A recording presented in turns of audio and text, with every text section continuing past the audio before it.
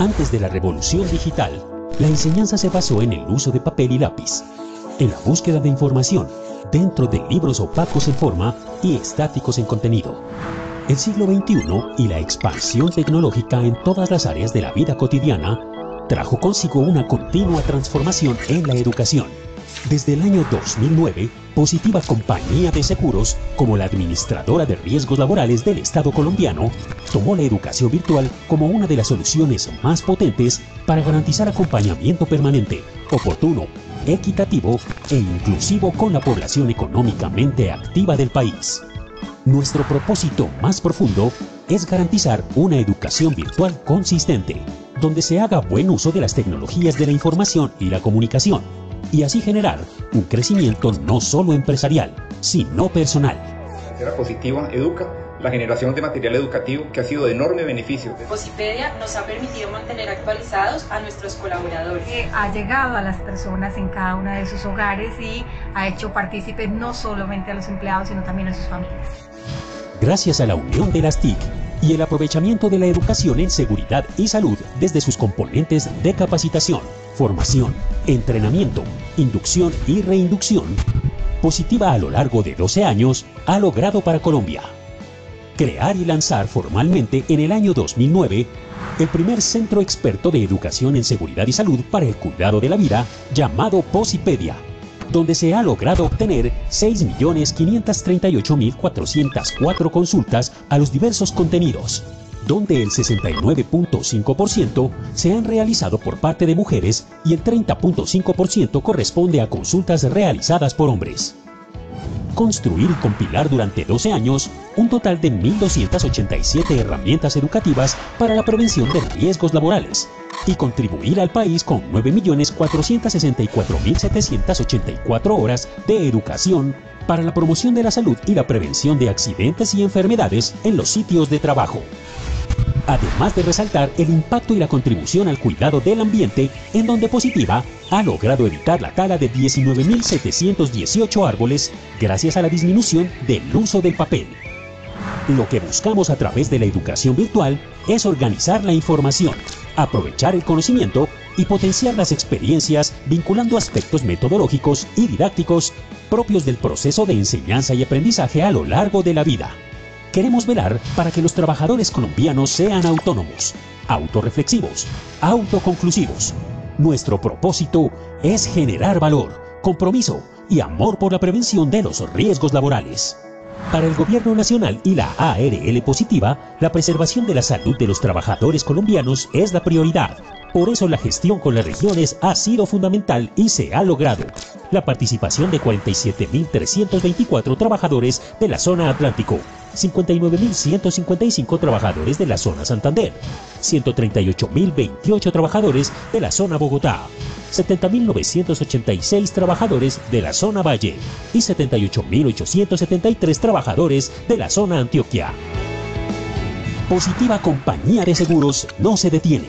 La protección, el aseguramiento y el trabajo digno han sido pilares en la gestión.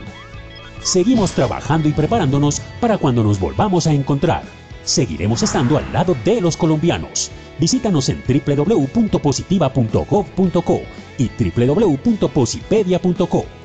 Positiva, la aseguradora de todos los colombianos.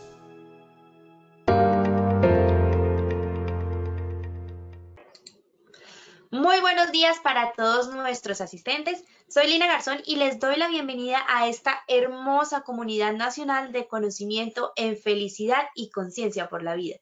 Quiero invitar y presentarles a nuestro experto de la comunidad, el doctor Hugo Piedraíta.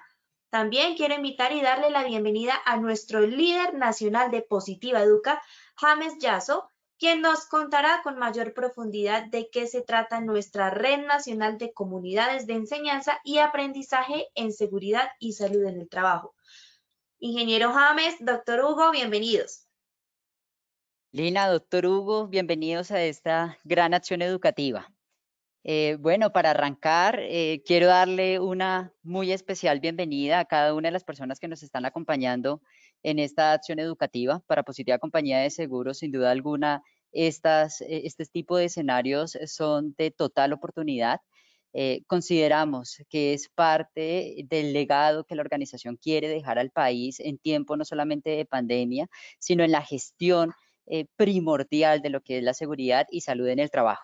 Y hoy estoy completamente feliz. Contamos eh, con un experto eh, yo le digo a mi equipo, con un profesional, pero más que todo con un ser humano increíble, que desde que lo conozco muy joven siempre nos ha obligado y nos ha retado a innovar en seguridad y salud en el trabajo. El doctor Hugo Piedradita desde hace muchísimo tiempo ha estado con Positiva Compañía de Seguros, claro, desde su empresa Cerrejón, y desde allí nos ha, eh, de cierto modo, orientado desde el componente técnico, desde el componente más estratégico, pero desde algo muy lindo que es precisamente la gestión del factor humano. Doctor Hugo, bienvenido a esta acción educativa, bienvenido a este espacio. Eh, es una entera oportunidad y quiero aprovechar para hacer un reconocimiento a la labor que como líder eh, del sistema de gestión de seguridad y salud en el trabajo de tan importante empresa para el país desarrollas, pero sobre todo por el líder eh, que has sido a nivel eh, de lo que es la persona, el factor humano, de lo que es la motivación, la esencia propia de la promoción de la salud y la prevención de los riesgos laborales. Creo que esta comunidad nacional de conocimiento, como muchos dicen, es como anillo al dedo, como para una persona precisamente con tu pericia, eh, es precisamente la Comunidad Nacional de Conocimiento de Felicidad y Conciencia con la Vida. Es parte del lema técnico que Positiva Compañía de Seguros asumió en el año 2021 y con el cual queremos mostrarnos completamente cercanos pero sobre todo queremos eh, dar un acompañamiento, una asesoría y una asistencia técnica en estos tiempos en donde no solamente tenemos el gran reto de afrontar la pandemia, sino en donde los sistemas eh, puntualmente se enfrentan a algunas brechas y algunos desafíos como lo es la diversidad generacional, todo el proceso de transición a nivel de la digitalización, eh, lo importante que es convertirnos en realmente líderes tácticos y estratégicos ante los sistemas de gestión. Entonces, eh, doctor Hugo, súper bienvenido. Aquí eh, tenemos ya más de 500 asistentes de orden nacional de los 32 departamentos del país, de muchas de las empresas afiliadas a la organización que esperan precisamente un retorno de experiencias exitosas y también de lecciones aprendidas para seguir co-creando en los sistemas de gestión, abonando y fortaleciendo todas esas acciones que día a día nosotros como prevencionistas desarrollamos. Bueno, James, muchas gracias por, tu, por tus generosas palabras, las aprecio mucho y bueno, nada, eh, muchos años de trabajar en el tema de salud y seguridad en el trabajo y con mucha humildad aprendiendo todos los días. Yo creo que esta es la, la, la palabra más clara que podemos señalar, creo que todos los que estamos acá presentes, que todos venimos aprendiendo y a propósito de lo que quiero compartirles hoy, pues la verdad es que lo que ocurrió desde marzo del año pasado, hace exactamente un año, pues ha sido un aprendizaje sin duda para todos nosotros y un desafío que pone a pensar un poco si, si, si esto que ha ocurrido nos ha dejado alguna enseñanza o no nos ha dejado enseñanzas y cómo podemos aprovechar. Entonces, pues muchas gracias, James, muchas gracias a Positiva. La verdad que es un placer poderlos acompañar. Aprovecho también para felicitarlos a ustedes porque esto que han hecho ustedes ha sido también, eh, digamos, aprovechar eh, el uso de estas herramientas tecnológicas para seguir conectados con todas sus empresas afiliadas en esta tarea tan compleja, tan difícil de gestionar la salud y la seguridad en los entornos laborales. Entonces, felicitaciones porque sabemos del extraordinario trabajo, esfuerzo y liderazgo que han tenido ustedes. Entonces, también de mi parte, pues muchísimas felicitaciones. Y a todos los que me están escuchando, pues un saludo muy especial. Muchísimas gracias por su generosidad también en en este espacio. Yo voy a tratar de ser breve y quizás voy a comenzar pues de una vez para, hablar del título. Cada rato que, que, pienso cuando el título de esta, esta, conversación, hay veces pienso que fui bastante prepotente como para tratar de decir eh, eh, en un espacio tan corto de poder sacar algunas enseñanzas. Entonces, aunque el título es este, eh, creo que podemos más bien señalar de hacer algunas reflexiones en torno a lo que de verdad el COVID nos, ha enseñado, pero de manera muy especial a todos los responsables de salud y seguridad en el trabajo, que estoy seguro que muchos de ustedes, los que me están escuchando, nos están acompañando en esta reunión, seguramente han vivido y van a compartir conmigo algunas de las reflexiones que yo les voy a hacer. Eh, sin duda, como es un, doctor Hugo, Sin duda alguna es un título eh, bastante interesante, ¿no? Y es un título que debe servir a todos nosotros como prevencionistas, como educadores, como líderes de los sistemas de gestión, repensarnos, pero sobre todo eh, elegir caminos de transformación eh, también cultural que propicien de cierto modo gestión del cambio. Yo al ver el título de tu ponencia, con el equipo reflexionábamos un poco acerca de lo que hemos aprendido en este tiempo de COVID y desde el componente educativo y como experto en ese tema académico, lo que te puedo compartir es que desde marzo del año pasado nos enfrentamos eh, a la gestión de la diversidad generacional. Eh, hay un tema eh, lindísimo y apasionante que quiero dejar sobre la mesa y que quiero dejar como una respuesta a la pregunta que tú haces y es, ¿qué tanto hemos aprendido de este tema del COVID? Y es que hoy por hoy, sin duda alguna, ante todos los sistemas de gestión de seguridad y salud en el trabajo, los líderes se enfrentan eh, a un gran desafío, que es lograr la gestión eh, de cuatro o cinco diferentes tipos de generaciones en donde encontramos los baby boomers, en donde encontramos los baby Google o donde vamos no tan a extremo extremo, los X, los Y, todas las personas aprendiendo cosas de manera completamente diferente eh, pero en donde hay un gran valor y, cuando te veo hay algo eh, que, significa muchísimo para nuestra organización y es y precisamente la importancia de generar proyectos de relevos generacionales. Yo siempre he creído que Colombia tiene expertos técnicos que durante toda la vida han sido referentes para el país y para el mundo. En este caso estás tú y la invitación es precisamente a que nos enseñes. Nosotros estamos aquí para aprender, eh, también estamos obviamente para compartir conocimientos y nos sentimos totalmente honrados de que estés aquí en este escenario. Así que súper bienvenido y adelante. Muchas gracias, James. Y, esta, esta reflexión que acabas de hacer me, trae aquí a colación a propósito del orgullo que hemos sentido todos los colombianos de del premio, del premio a la mejor película iberoamericana eh, al olvido que seremos en los premios Goya de, Héctor Abad Faciolince. Y a propósito, eh, Héctor Abad escribió hace tal vez unas tres semanas un artículo en el diario El Espectador, del cual es columnista pues, frecuente, y, el título de la, de la conferencia de Héctor Abad Faciolince era algo así como la, la economía de la atención. A mí me llamó la atención, no leo mucho a Héctor Abad como columnista, así como escritor, pero la reflexión que hacía él era, eh, cómo, los, medios y las facilidades hoy tecnológicas abruman y él, en el caso de ser un escritor, todo lo que le ha costado eh, invertir el tiempo en las tecnologías. Entonces él señalaba que en de un momento a otro se dio cuenta que Twitter le generaba una hora y media al día, o sea, entre leía y respondía, invertía una hora y media en Twitter. Y, qué decir de, lo que ocurre todos los días, de que tenemos reuniones por Teams o por diferentes metodologías y que nos invitan a que hoy, no, nos repensamos todo, ¿cierto? Probablemente eh, eh, termina una reunión a las 12 y a las 12.00 comenzó la otra, no hay tiempo de hacer una pausa. Esto nos pone y nos invita a una reflexión muy importante y a propósito de la, de la, de la economía de la atención del artículo de, de Héctor Faciolince, los invito a, que, a que por favor eh, me ayuden con un poquito de, atención empática durante esta presentación, porque seguramente todos y seguramente los más jóvenes que están acá son capaces, yo no soy capaz de hacer varias cosas al tiempo, seguramente están respondiendo los WhatsApp, algunos están respondiendo correos electrónicos, pero creo que esta reflexión que tenemos acá, escúchenme con atención empática, que creo que vale la pena. Entonces, Gracias, James, y esto pues, me, trae a colación eh, el orgullo del olvido que seremos y esta reflexión que hacía, que hacía Héctor Abad Facilince sobre el tema de la economía de la atención y cómo nos despistamos tanto permanentemente por la tecnología, que sin duda hay que saberla aprovechar, pero no dejarnos también abrumar por ella. Entonces, entro, entro en materia, James, gracias. Eh, pues les decía, yo, yo trabajo en una compañía del sector minero que tiene eh, tantos problemas como los que tienen sus compañías, pero sin duda que unos problemas diferentes y muy importantes porque seguramente por los medios de comunicación ustedes han escuchado de algunos desafíos que hemos tenido. El año pasado, para citarles simplemente, nosotros hicimos una para, eh, aunque cuando arrancamos la cuarentena en el mes de marzo, eh, la minería estaba exenta y podíamos seguir operando. Nosotros responsablemente paramos cerca de un mes y medio mientras nos preparábamos para trabajar frente al tema del COVID. Y muy desafortunadamente, entre los meses de septiembre, octubre y noviembre, pues ocurrió la, huelga más larga que ha tenido esta compañía en sus 35 años de historia, lo cual nos pone casi que cinco meses en lo que no hubo operación minera con precios además a la baja. Pues, entonces ha sido todo un desafío para nosotros y, el desafío más grande fue aprender frente a un tema como el COVID.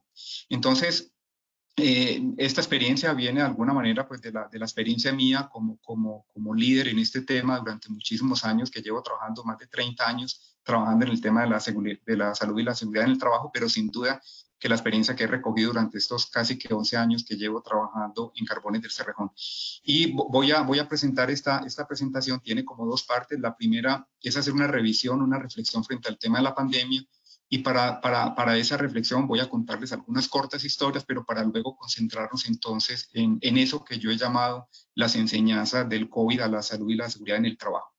Entonces, la primera parte, como les digo, vamos a hablar de esos hechos del COVID y aquí está, digamos, el índice de lo que quiero, de lo quiero contarles. Voy a ir sobre estos aspectos de manera muy breve para podernos concentrar en la segunda parte, que creo que es la más importante, y reflexionar con ustedes frente a esas enseñanzas del COVID. Entonces, vamos a comenzar frente a esta, eh, esta primer, eh, eh, este primer ítem que tengo acá, que es nuestra primera pandemia.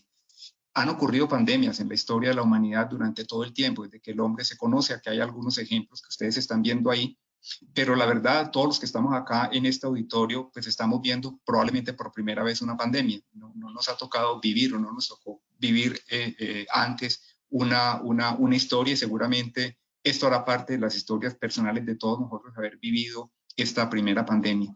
Pero como ven ahí en esas imágenes, pues hemos tenido diferentes tipos de pandemias. Hay muchísimas, de hecho aquí faltan muchas, pero quizás si, si miran con algún detalle, eh, por ejemplo, eh, miren la, imagen que hay a la izquierda cuando se, habla, se hablaba de la gripe asiática, el H2N2 en el año 1957.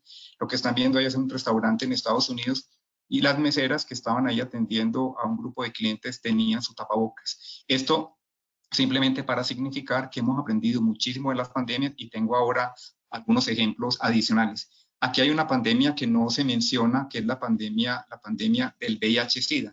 El VIH-Sida es sin duda una de las pandemias más complejas de la humanidad.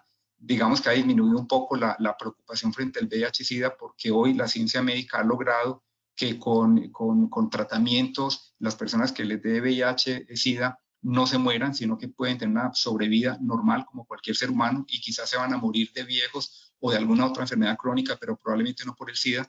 Pero el SIDA hizo una reflexión importantísima a la humanidad, incluso como lo está haciendo ahora el COVID, en torno a la, a la enseñanza de, la, de, la, de, de, los comportamientos sexuales que tenía que tener la humanidad e incluso, por qué no decir, de la masificación del uso de los preservativos.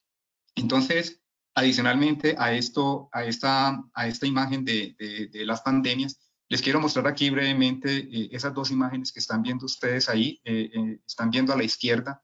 Eso no es un disfraz ni, ni es una imagen de, del Halloween de este año, sino que serán el traje de protección que usaban los médicos en el siglo XVII. Y, lo, curioso era, era esa máscara que tiene el médico, tenía unas condiciones muy particulares en su confección, tenía en el pico unas eh, hierbas aromáticas que impedían que llegaran olores al, médico eh, y permitían de alguna manera evitar o actuar como una forma de, evitar la, respiración o las gotitas de saliva, en este caso del médico hacia, hacia su paciente. Obviamente estos eran médicos particulares que trabajaban con la realeza.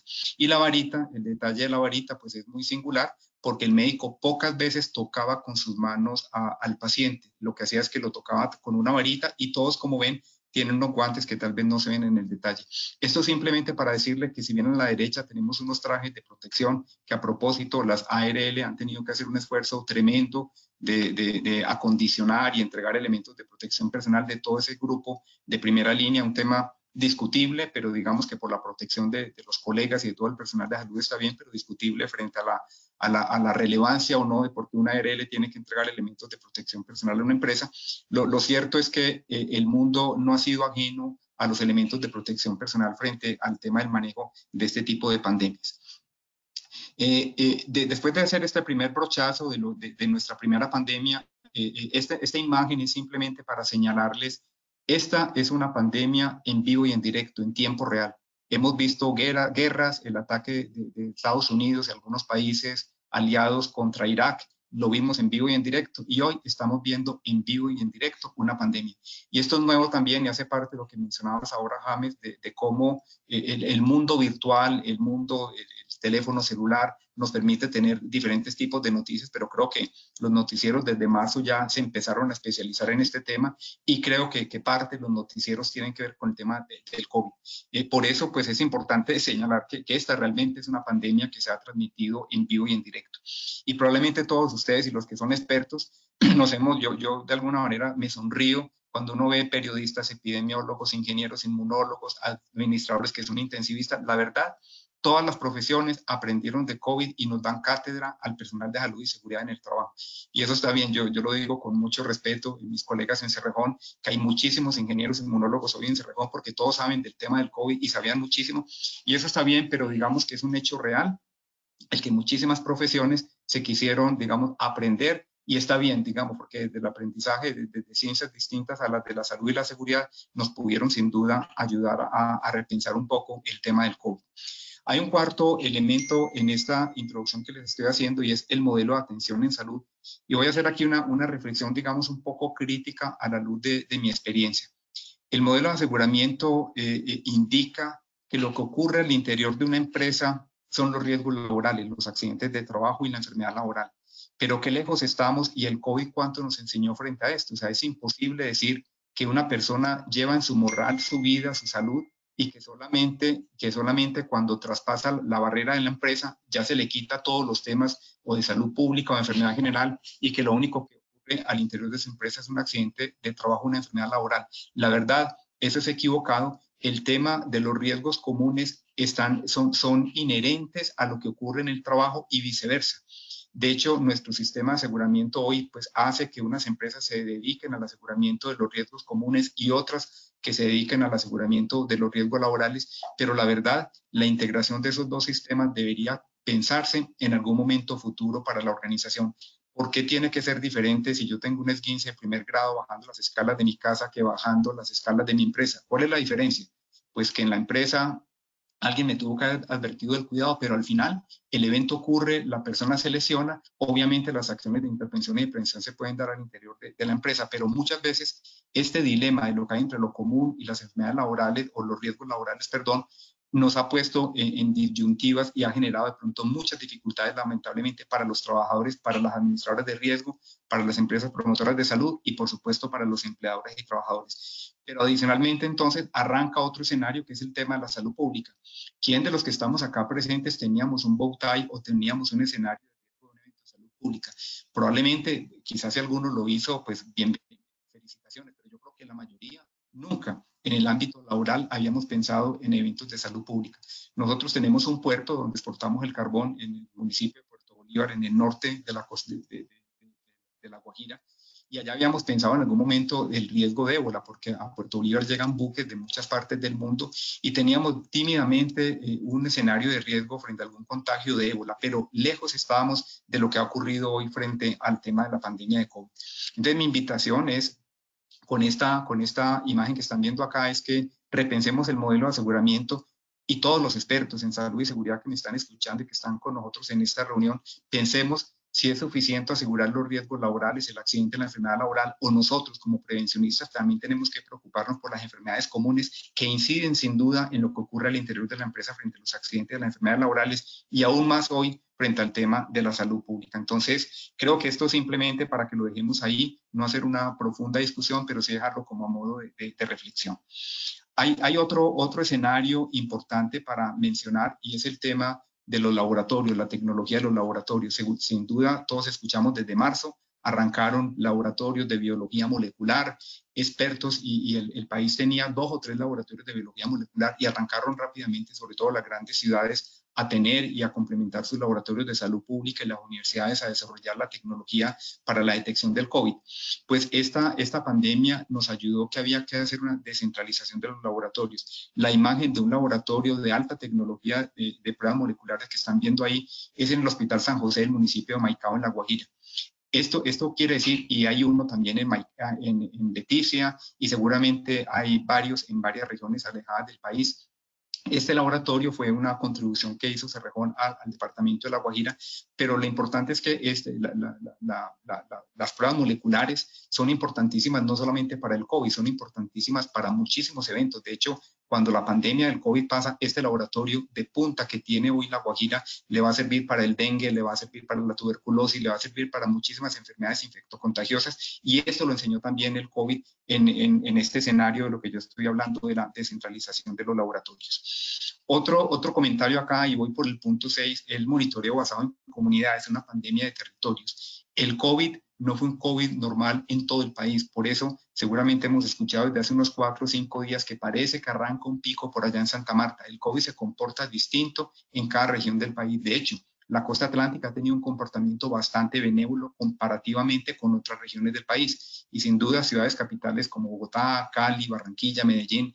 bueno, de pronto no tanto Barranquilla, han, tenido un esfuerzo muy grande, pero ciudades intermedias en el eje cafetero han tenido situaciones muy complejas. Entonces, la pandemia del COVID hay que mirarla como una pandemia de territorios y que se comportó completamente distinta. Eh, le, termino esta primera parte con algunas experiencias desde Cerrejón. Son dos imágenes breves porque tendríamos mucho que contar, pero el espacio no nos lo permite. Y estoy seguro que esto ustedes lo hicieron tanto como nosotros. Eh, nosotros centramos todo nuestro esfuerzo en el tema del COVID en cinco comportamientos, que son los que aparecen ahí en la imagen de la izquierda. Reviso mi estado de salud diariamente, mantengo siempre la distancia mínima de un metro, cumplo con la señalización e instrucciones en el área eh, para evitar las aglomeraciones, uso adecuadamente mis elementos de protección personal y el lavado de manos. Estas fueron los cinco, los cinco reglas de oro que manejamos en Cerrejón frente al tema del COVID. Esa app que tenemos ahí es importante mencionarles que la desarrollamos a propósito de un apoyo que nos dio positiva. Habíamos tenido una, una, una, una, idea de tener una app para la gestión de salud y seguridad en el trabajo y al final la teníamos casi lista por allá en el mes de febrero del año pasado y antes de salir tuvimos algunos tropiezos, pero cuando arrancó el COVID, pues la app se estrenó con el COVID y hoy cada empleado de Cerrejón, antes de llegar a trabajar, tiene que diligenciar la app y solamente con un código que le asigna cuando su diligenciamiento es adecuado, la persona puede ingresar. De lo contrario, pues no, no, no lo puede hacer.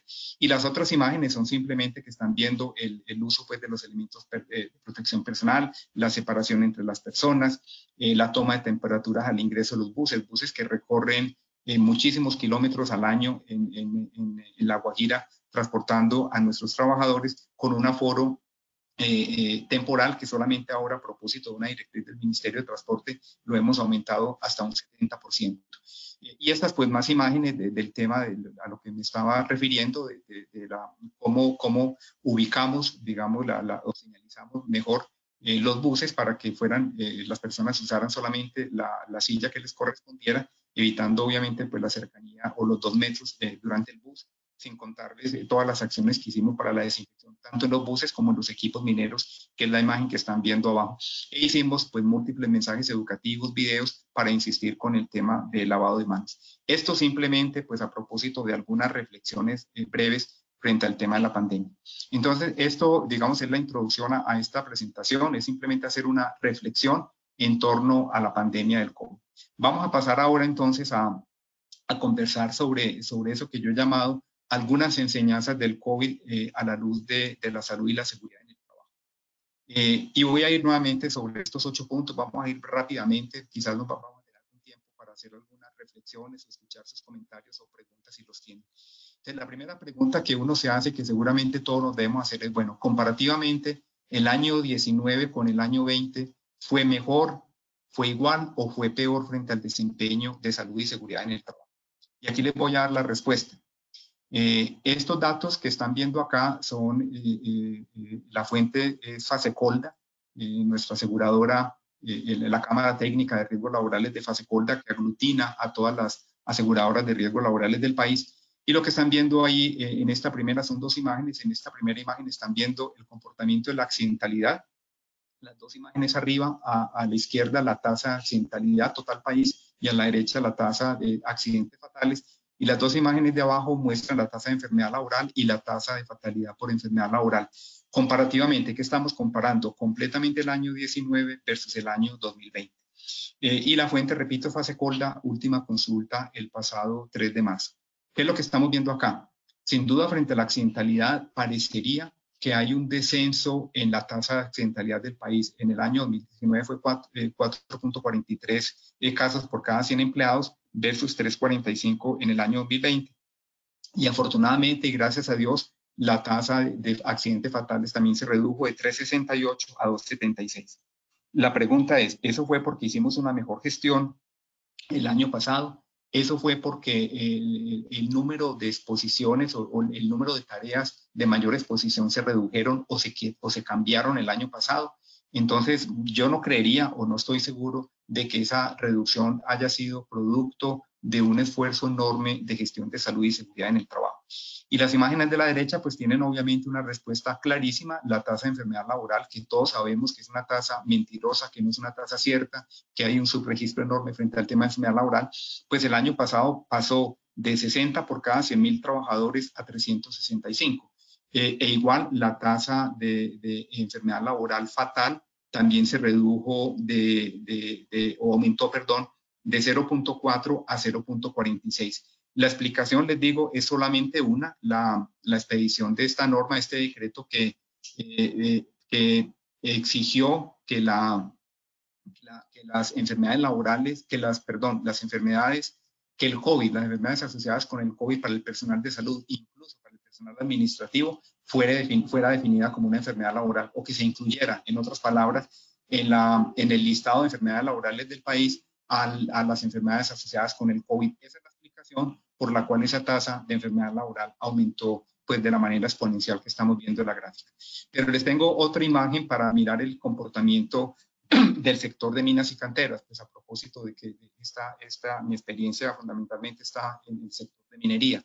Entonces encontramos lo mismo, parecería que hubo un descenso importante, no mucho, pero un descenso importante tanto en la tasa de frecuencia como en la tasa de, fatalidad por accidentes de trabajo en el sector de la minería, no tanto como a nivel global, pero miren cómo la tasa de enfermedad laboral sí se aumentó en ambos años, tanto la tasa de enfermedad laboral como la tasa de fatalidad por enfermedades laborales. Y aquí, pues no cuenta el, decreto, el decreto que, planteó que las empresas, que, la, que, la, que el COVID fuera enfermedad laboral.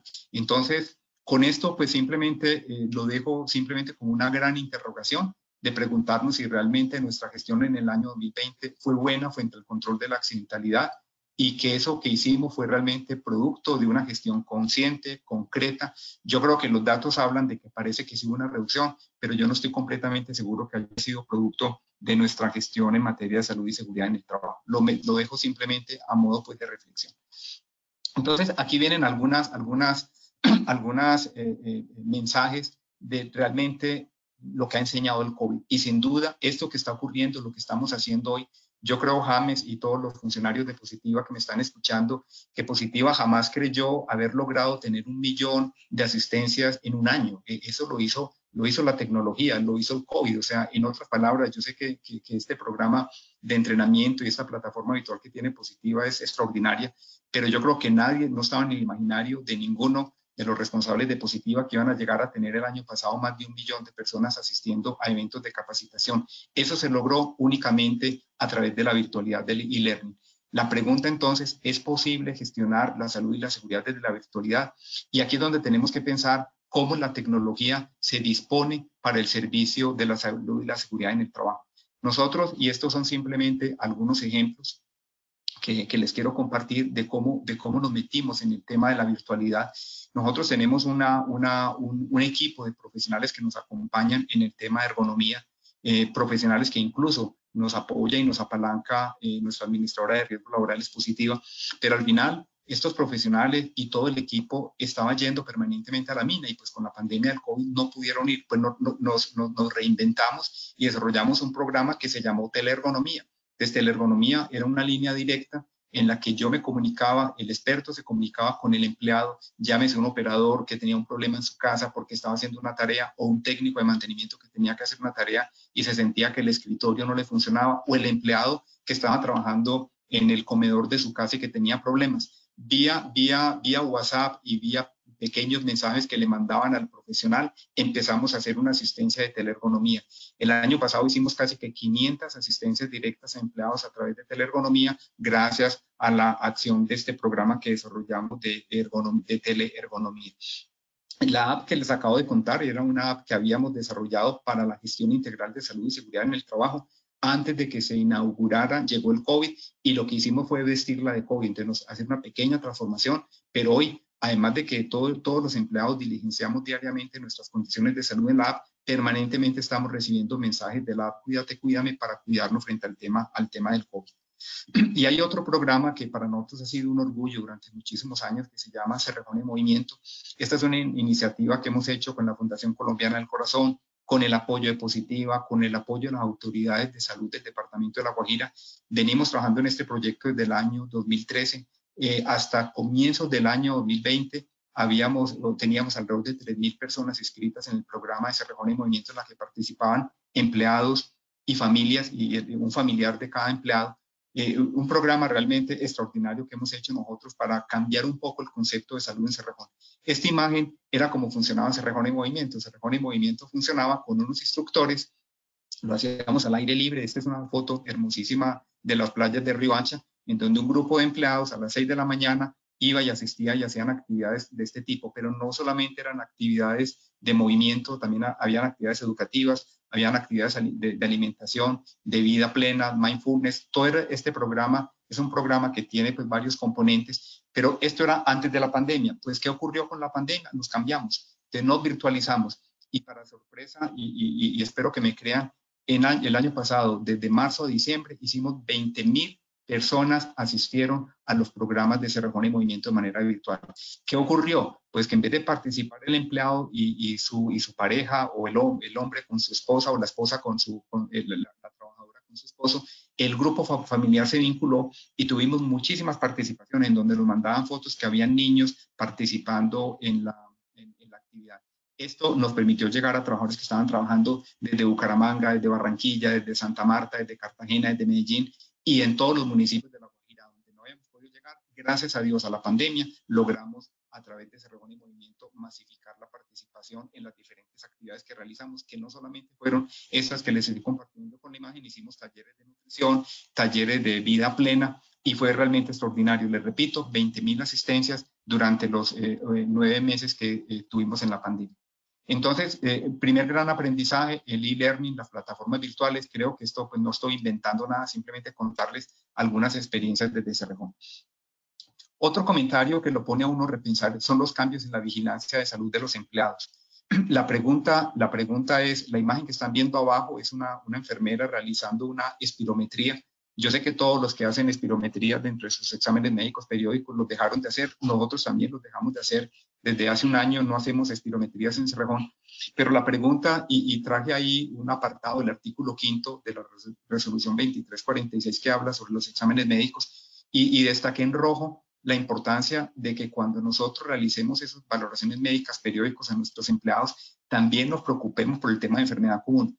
Yo no sé si les pasó a ustedes, pero cuando teníamos que saber cuáles eran las comorbilidades que tenían nuestros empleados, eh, nos costó mucho tenerlo porque entiendo y entendemos que nosotros somos médicos ocupacionales y que nos preocupamos por la parte ocupacional, pero qué importante también era saber si el trabajador era hipertenso, si era diabético, si estaba tomando algún medicamento, si había tenido un tema de cáncer, si había tenido alguna enfermedad hepática, algo que lo hiciera que fuera una persona que tuviera una comorbilidad. Yo creo que el cambio en la vigilancia de los empleados es para ser mucho más integral y vuelvo lo conecto con el mensaje que les estaba dando ahora de cómo en el tema de salud y trabajo yo no me puedo concentrar solamente en el tema de enfermedad laboral y accidente de trabajo, yo tengo que pensar también en la enfermedad común, en qué aqueja al trabajador, porque ese trabajador hipertenso, diabético, puede tener problemas para el desempeño de trabajo. Y si no lo pregunto, ni lo indago, ni lo miro, cuando hago las valoraciones realmente estoy definitivamente cometiendo un error.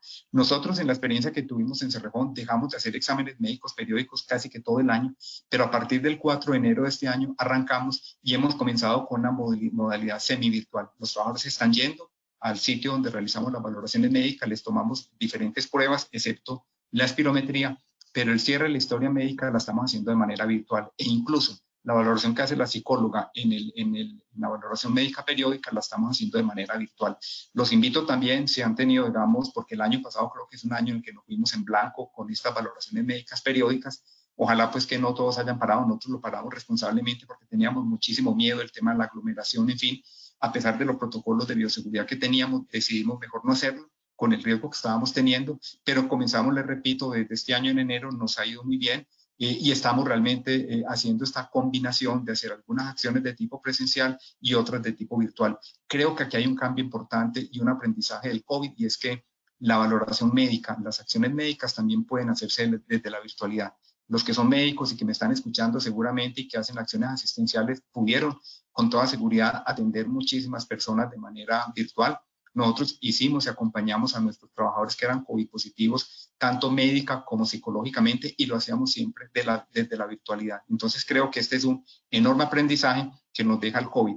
Y a la derecha están viendo pues la estrategia PRA. Yo quiero recordar que esto no se ha acabado, que la estrategia PRA sigue viva.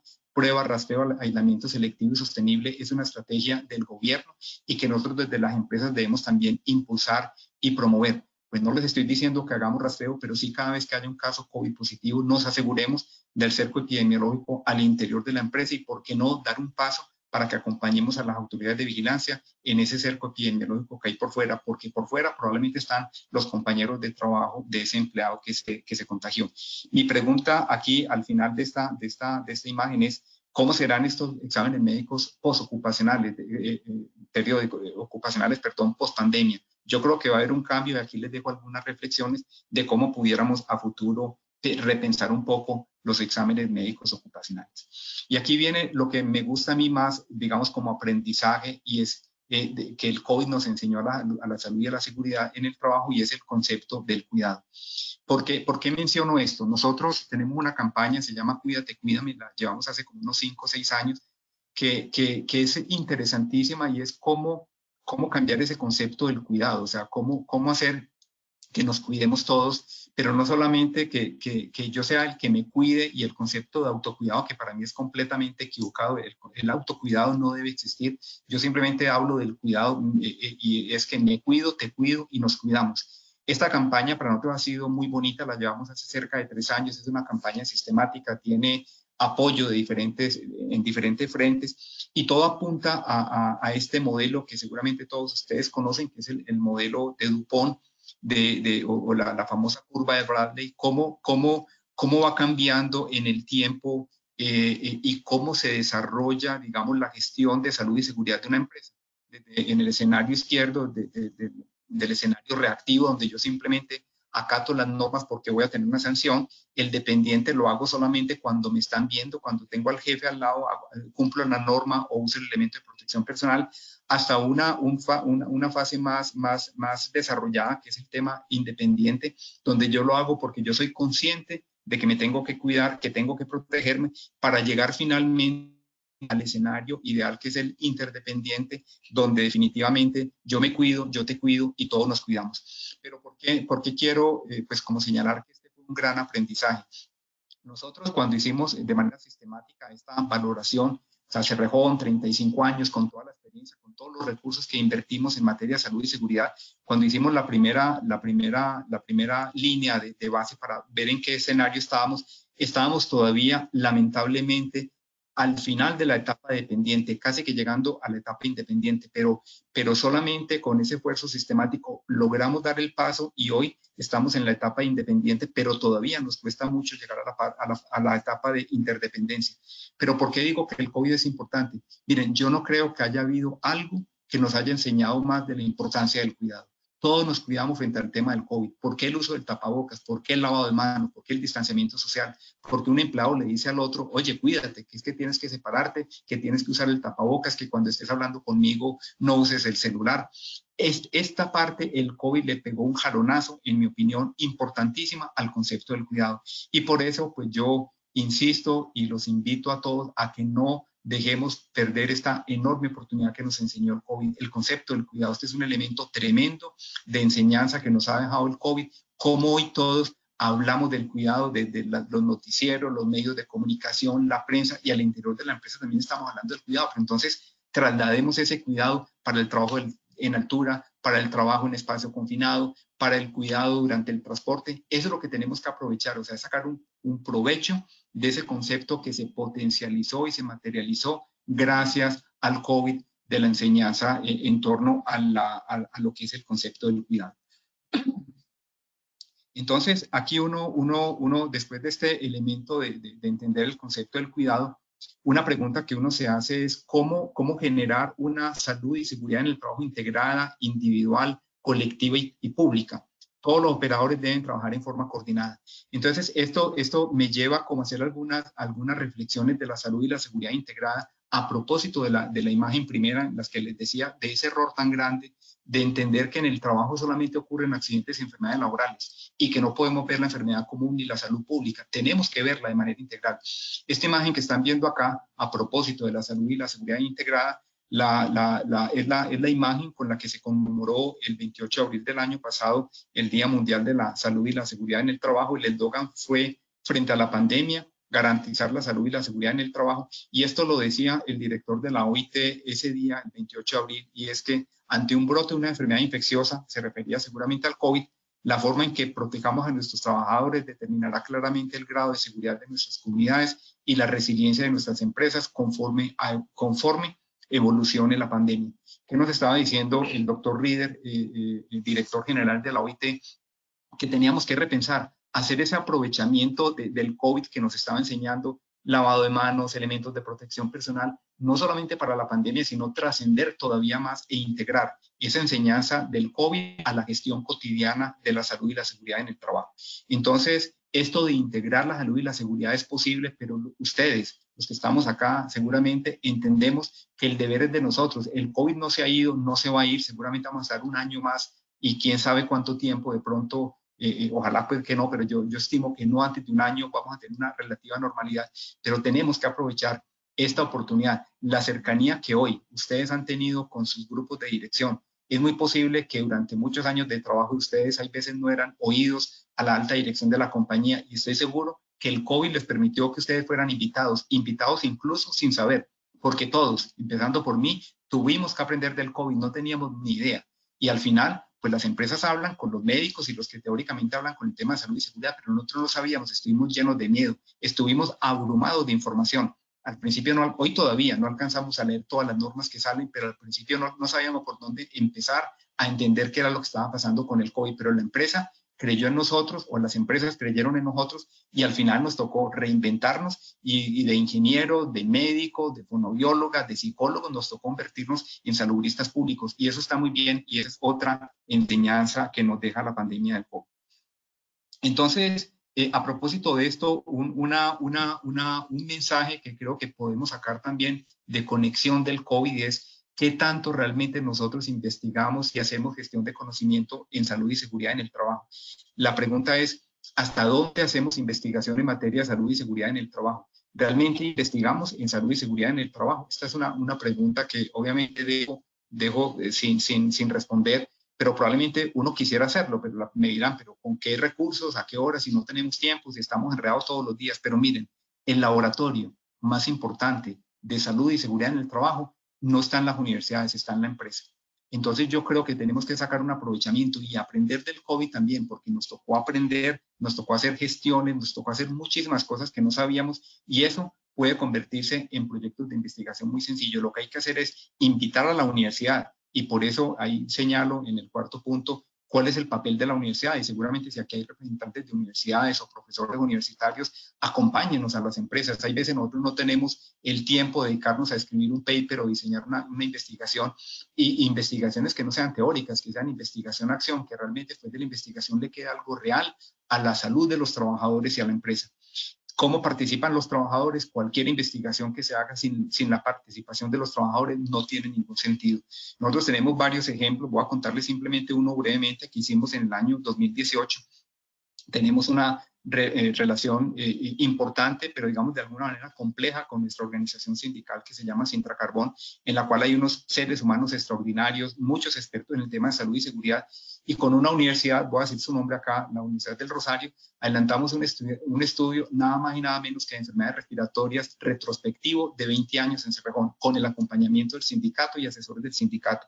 La investigación al final deja muchísimas enseñanzas de, aprendizaje, de cosas que tienen que mejorar Cerrejón, que tienen que mejorar los trabajadores, pero para mí la enseñanza más importante es que sí es posible trabajar de manera conjunta con los trabajadores y en este caso con una organización sindical. No duden que la salud de los trabajadores es una enorme fuente de generación de conocimiento. Y si alguien está aquí para terminar esta imagen del ministerio, nos está acompañando también, eh, eh, ¿por qué no desde el gobierno miremos cómo estamos usando esos recursos del Fondo de Riesgos Laborales. Hay unos recursos económicos muy importantes que sin duda el gobierno está destinando para el fin que es, pero probablemente podemos aprovechar esos fondos y esos recursos para que nos, eh, nos, nos, nos faciliten y nos apalanquen algunas de estas propuestas de investigación que estamos haciendo al interior de las empresas. Entonces dejo también a modo pues, de reflexión la importancia de que el ministerio también democratice un poco ese fondo de riesgos laborales para que las empresas podamos acceder a ellos vía investigación. Entonces, con esto voy terminando. El momento de los prevencionistas es hoy. Yo pienso que, que hoy es el momento de la nueva, del nuevo prevencionista. Todos ustedes, eh, sin duda, nos hemos tenido, repito, que repensar hemos hecho cosas diferentes para las que no sabíamos, nos tocó hacer cosas completamente nuevas y hoy el mundo, hay, nuevos tiempos, hay nuevos retos. El, punto acá es definitivamente dejar el miedo por la prevención. Tenemos que seguir apalancando el tema de cultura, de salud y seguridad. Tenemos que seguir haciendo que todas las organizaciones, independientemente, que sigan ese modelo de, de, de la curva de Bradley, de Dupont, pero llegar a empresas donde realmente seamos interdependientes. Yo lo resumo rápidamente como lo señalé ahora. Yo me cuido, yo te cuido, todos nos cuidamos. Si logramos que una organización piense en que cada individuo se tiene que cuidar, en que yo cuido al otro y que entre todos nos vamos a cuidar, sin duda vamos a lograr mejorar el desempeño de salud y seguridad de cualquier, de cualquier compañía.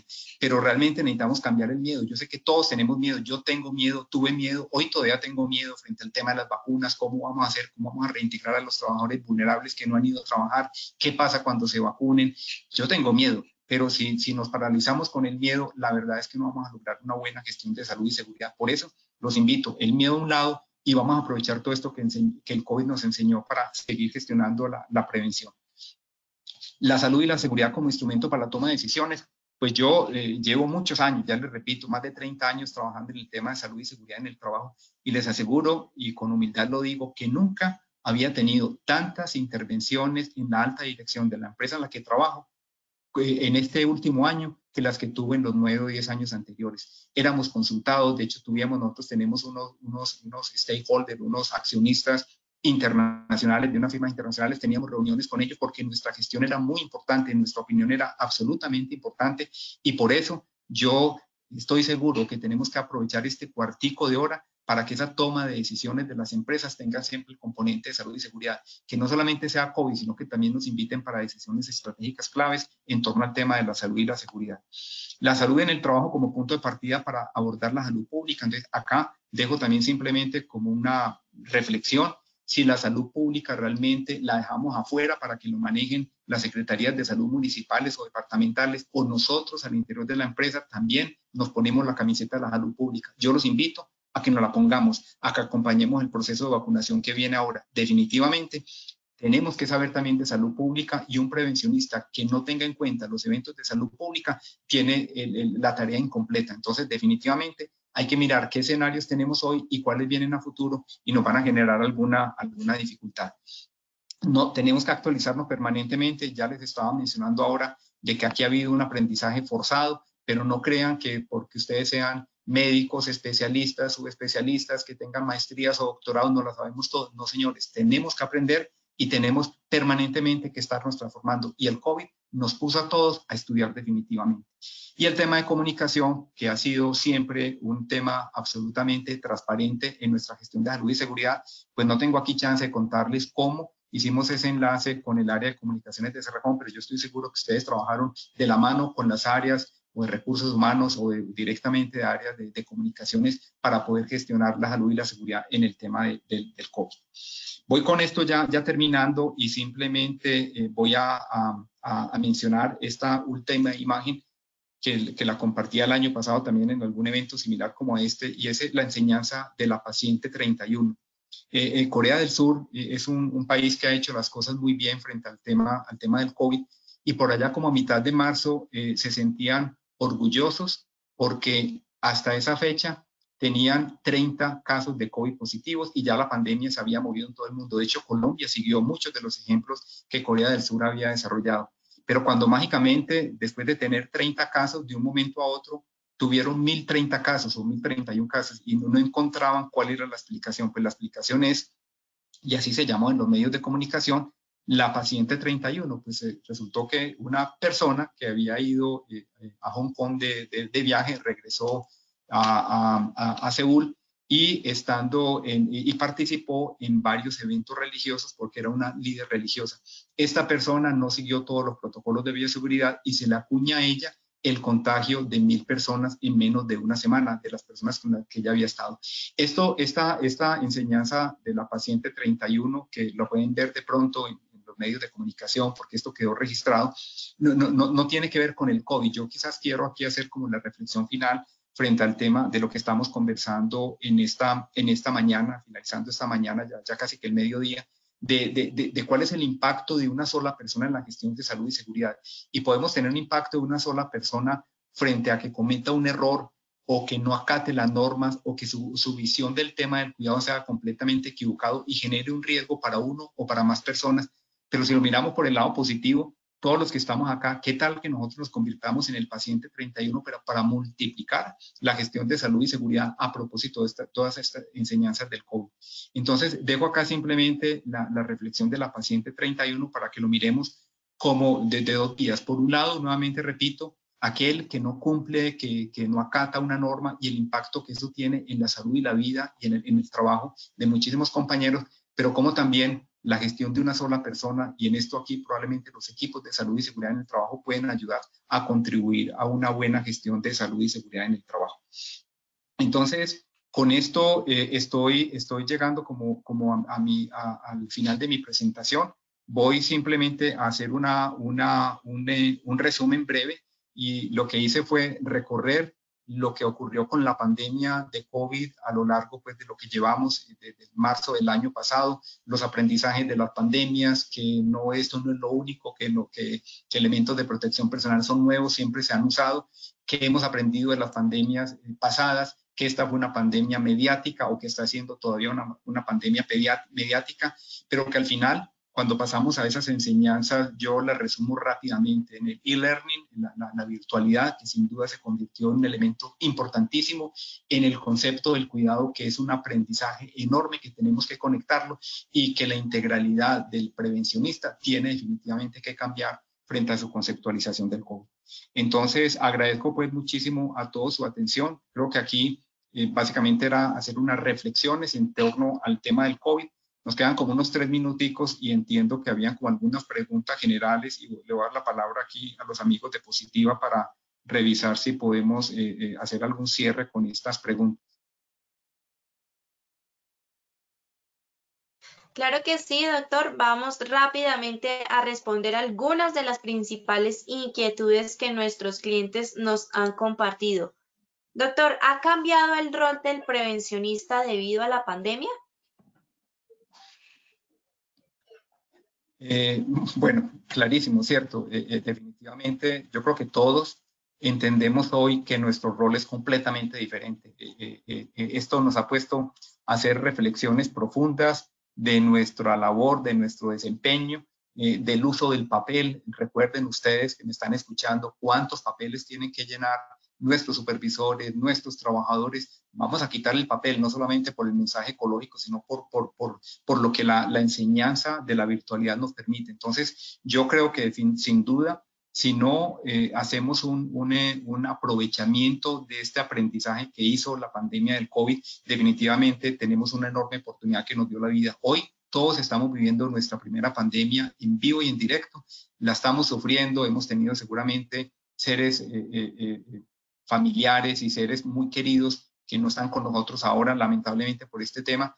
Vivimos esta pandemia, los medios de comunicación nos lo recuerdan, todos los días, a toda hora en, los noticieros, pero la verdad, si, si dejamos de lado eso y no entendemos qué ha cambiado con nosotros, o sea, qué ha cambiado con cada prevencionista, lo que les decía ahora, cómo nos conectamos hoy con la dirección de las compañías. Antes, probablemente muchos no iban a la alta dirección de la compañía, hoy probablemente son consultados por la alta dirección de la empresa. Este es el momento, esta es la oportunidad que tenemos que hacer para hacerlo. Entonces, definitivamente, yo sí sé que ese rol del prevencionista ha cambiado, pero tenemos que ganarnos, tenemos que seguir trabajando fuertemente, seguir aprendiendo. Lo que les decía ahora, seguir gestionando su propio conocimiento, hay que seguir aprendiendo todos los días en torno al tema del COVID. Entonces dejo hasta ahí, pero creo que el resumen es que claro que ha cambiado el rol del prevencionista y tenemos que sacar el mejor provecho a ese nuevo rol de ese prevencionista COVID o post-COVID que vamos a tener a futuro. Claro que sí, doctor. Doctor, ¿cómo seguir haciendo visible y destacado el rol del prevencionista post pandemia? Bueno, eh, eh, esto lo conecto con la, con, la respuesta, con la respuesta anterior y es que eh, definitivamente, definitivamente, si, si, si, no, si, no, si, no, si no entendemos que el rol del prevencionista es integral, que no solamente puede quedarse en, en, en, atender eh, la investigación de accidentes de trabajo, sino tiene, tiene que dar un paso mucho más adelante para mirar desde la parte inicial, para entender ese concepto que mencionaba yo ahora del cuidado. Yo me cuido, yo te cuido, todos nos cuidamos. Eh, eh, definitivamente no vamos a poder hacer una buena gestión. Hacer visible lo que ocurrió después de la pandemia y yo pienso que, que, cada uno tiene que saber cómo lo va a hacer. Si tuvimos hoy la oportunidad de tener conexión con la alta dirección, con los líderes de la organización frente al tema del COVID, pues conectemos esas reuniones a partir de ahora para no hablar del COVID, sino para hablar de la gestión de salud y seguridad. Creen comités. Eh, nosotros tenemos por ley todos que hacer rendición de cuentas, frente a nuestro desempeño de salud y seguridad en el trabajo. Hagámoslo con todos los grupos de interés. El primer grupo de interés son los trabajadores, por supuesto, el comité paritario, pero también lleguemos a la alta dirección de la compañía y si no lo han hecho, pues los invito a que la, la rendición de cuentas del año 2020 se la presenten hoy a la alta dirección. Probablemente en el pasado, que no había COVID, probablemente no, pero es que eh, el de salud ocupacional allá, no, yo no tengo tiempo para atenderlo. Yo estoy seguro que hoy, si sabemos aprovechar que con lo del COVID tuvimos mayor visibilidad, hagámoslo y este es pues simplemente traigo a colación un ejemplo para tomar la rendición de cuentas, para volver a hacernos mucho más visibles. Yo pienso que tenemos que tomar un rol diferente, protagónico, pero no van a ser ni los directivos de la empresa, ni los jefes de ustedes los que los van a llamar, somos nosotros mismos, tenemos que mantener esa visibilidad que hemos hecho durante todo el tema del COVID para mantenerla viva, no solamente frente al COVID, sino integrando el tema de enfermedad general y, por supuesto, la labor fundamental de prevención de accidentes y enfermedades laborales. Así es, doctor Hugo, importantísimo el, el, tema del día de hoy. Muchas gracias nuevamente por habernos acompañado en este importante espacio educativo y por supuesto esperamos verte en una próxima ocasión. Bueno, un placer, eh, eh, muchísimo gusto, fue un placer haberlos acompañado. Eh, ojalá que esta reflexión que he hecho pues les sirva de motivación para seguir trabajando, para seguir impulsando. Creo que no, no, hay, no hay, digamos, muchísimas cosas partido, pero creo que hay algunas reflexiones que creo que son importantes que todos tomemos. Haberlos acompañado esta mañana, que tengan un muy buen día y por favor todos síganse cuidando que el COVID no se ha ido y tenemos que seguirnos cuidando todos. Muchas gracias y un feliz día para todos. Claro que sí a todos, por supuesto. Muchas gracias por su participación. Les recuerdo que todas las grabaciones de nuestras acciones educativas las pueden visualizar en nuestro centro virtual Posipedia, www.posipedia.co. También allí encontrarán el cronograma semanal para que se inscriban y participen en todas las acciones educativas que hemos programado para ustedes. Los invito a las 2 de la tarde en, a nuestra acción educativa definir y dimensionar a los desórdenes musculoesqueléticos. Ya saben, 2 de la tarde conectados nuevamente con Positiva Educa. Doctor, muchas gracias. A todos, muchas gracias. Los dejamos con el siguiente video. Que tengan un feliz almuerzo. Positiva Educa.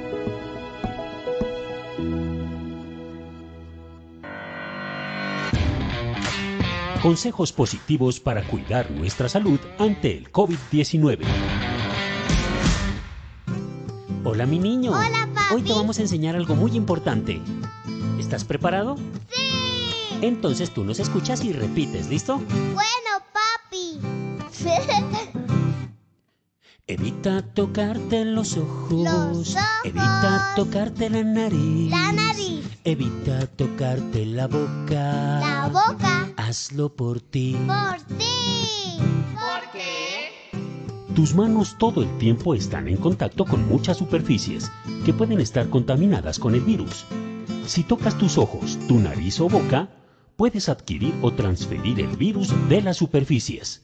Ten cuidado. Sé consciente y mantente a salvo. Tú eres muy importante para nosotros. Ahora te toca a ti, dale. Sí, ahora canto yo. Evita tocarte los ojos, evita tocarte la nariz, evita tocarte la boca. Hazlo por ti. Y de esta forma estaremos seguros y nos conservaremos positivamente saludables. Por eso mantente informado y sigue las recomendaciones de tu ARL positiva. Porque positiva siempre está contigo. Te cuidamos, te ayudamos, te educamos. Y a través de nuestra página web www.positiva.gov.co y www.posipedia.co hemos puesto todos nuestros desarrollos para protegerte integralmente. Es tu protección nuestra prioridad. Positiva te acompaña.